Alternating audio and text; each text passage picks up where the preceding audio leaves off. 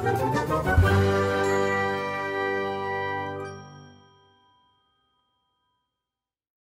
teman-teman, selamat datang di channel Design Labs. Di video kali ini saya akan menjelaskan fungsi dari Fetch Finder di Adobe Illustrator. Jadi Fetch Finder ini bisa kita gunakan untuk menyatukan maupun memisahkan dua atau lebih objek yang saling berpotongan. Nah, pertama kita munculkan panelnya terlebih dahulu, masuk ke menu window, kemudian pilih Fetch Finder di menu Fetch Finder ini ada beberapa perintah yang bisa kita gunakan. Saya akan mencontohkannya satu persatu. Yang pertama di sini ada Unite. Saya buat dua buah kotak terlebih dahulu. Nah, seperti ini ada dua buah kotak yang saling berpotongan, yang saling menumpuk seperti ini. Kemudian saya seleksi keduanya, lalu pilih Unite. Dua buah kotak tadi itu menyatu.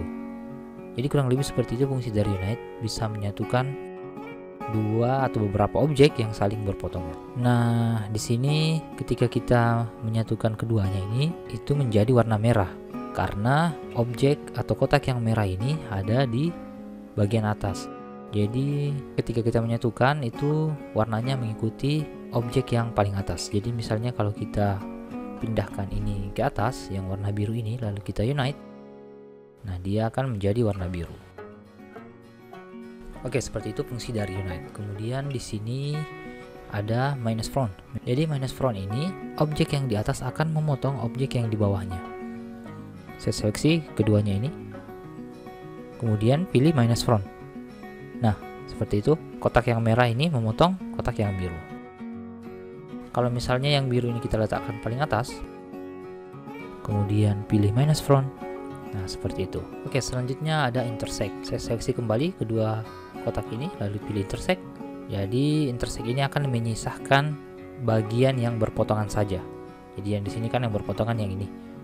Ketika kita pilih intersect, nah ini akan tersisa yang ini. Selanjutnya di sini ada exclude. Nah, exclude ini adalah kebalikan dari intersect tadi.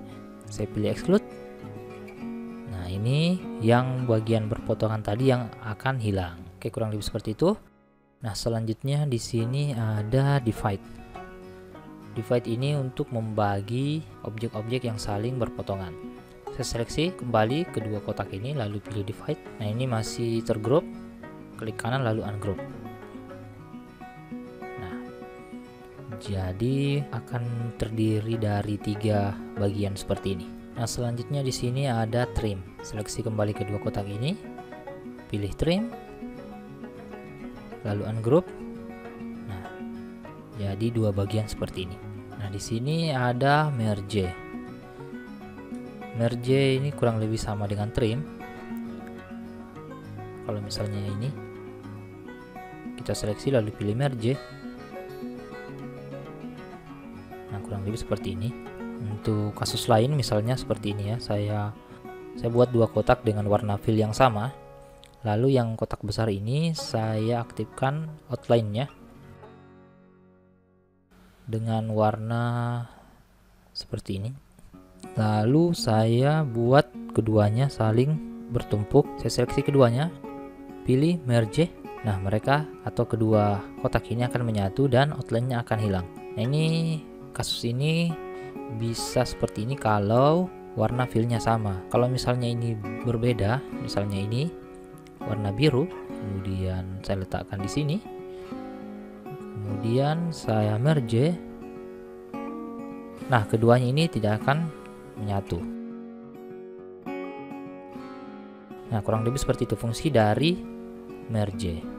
Baik selanjutnya di sini ada crop. Saya seleksi keduanya kemudian pilih crop. Nah seperti ini. Jadi objek yang saling berpotongan itu akan tercrop dan menyisakan outline seperti ini. Outline ini bisa kita gunakan misalnya meletakkan tulisan di dalamnya. Nah seperti itu. Oke selanjutnya di sini ada outline.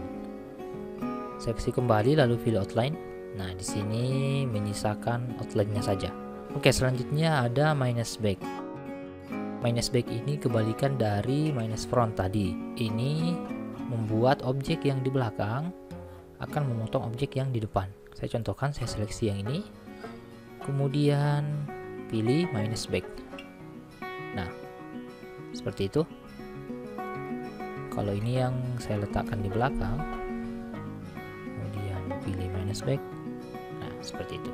Oke, kurang lebih seperti itu fungsi-fungsi dari perintah-perintah di Vendor. Silahkan dieksplorasi lebih jauh lagi di desain teman-teman. Dan semoga video ini bermanfaat. Sampai ketemu di video berikutnya.